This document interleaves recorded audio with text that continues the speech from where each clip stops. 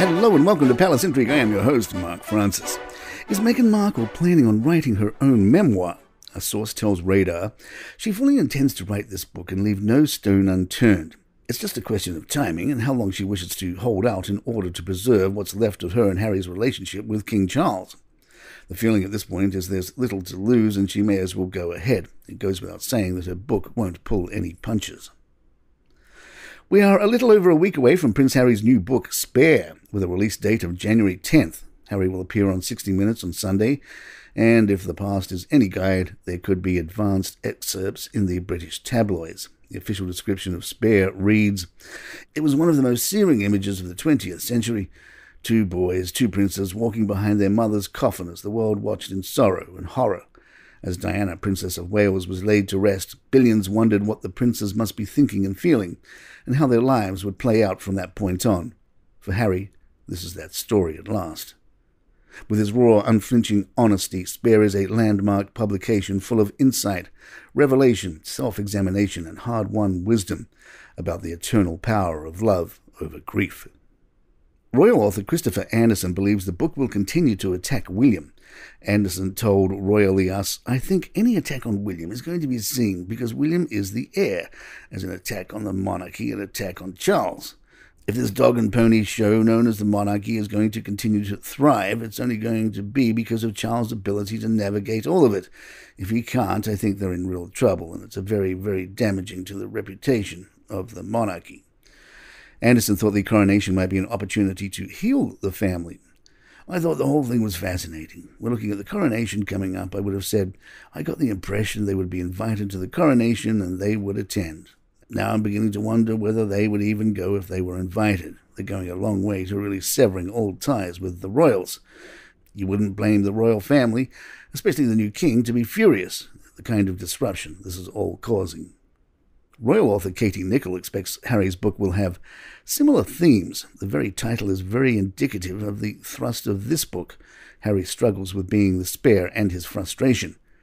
I suspect we will hear more about growing up royal, which will be very interesting, and clearly his journey to find the one. Their love story will perhaps be retold. There is still a lot more he can say. There are conversations he can cover. He can reveal the alleged racist royal. He can reveal what William actually said in that text message, which was so tantalizing, held up to Meghan but not screened to the rest of the world.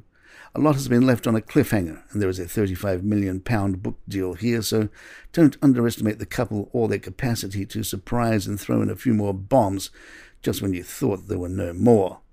I don't think the royal family are terrified by anything, least of all what is going to come next in Harry's autobiography. But concerned, apprehensive, yes. Ready to respond, quite possibly. Wearied by all of this, absolutely. Palace Intrigue right back. Meghan is said to be not thrilled with the final edit of the Harry and Meghan documentary. Royal expert Kinsey Schofield told Fox News, While I agree that they feel like their side of the story was important, I have heard that Meghan was not thrilled with the final edit. Expect Spare, like the reality show, to lack detail, full of filler, a la the bit about Harry losing his virginity to a beautiful older woman. Who was it? Most people are noticing that while Harry and Meghan like to talk, the two seem to lack substance and detail. All these media ventures, the book, the podcast, the reality show, are a way for Harry and Meghan to try to control the narrative. Please don't buy this book because you think it will help you get to the bottom of some mystery, because this book is a branding tool for a royal reject. DW.com had some fun with what might be next for Harry and Meghan. They write Walt Disney Studios love to make movies about princes and princesses, and after all, acting is Meghan's profession. A romantic love story about a prince who leaves his family for a woman of the people, or a remake of Beauty and the Beast? The possibilities are endless. But can Meghan and Harry sing?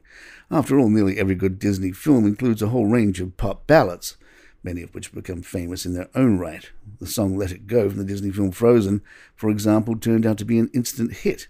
This might also be good advice for the famous couple and secure them a place in the charts. And there you have it. If you'd like to email us, our address is thepalaceintrigue at gmail.com. Please follow us on Spotify, iTunes, Google Podcasts, wherever you get your favorite shows.